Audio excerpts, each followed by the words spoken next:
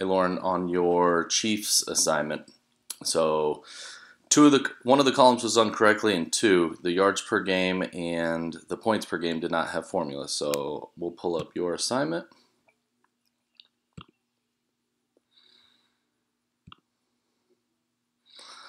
You'll see right here. So you did average per reception. I can see all the formulas right there. You did that perfectly. That was fantastic. Yards per game.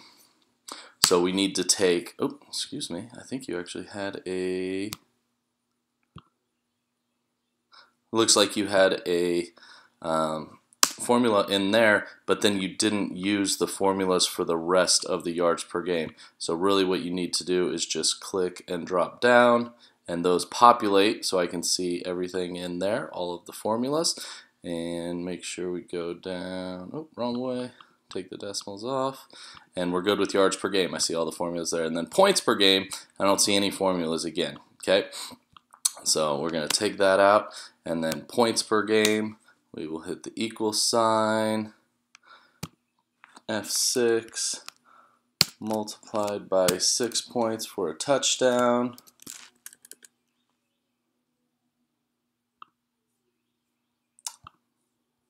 Shame on me. Bear with me. We need to divide by 16.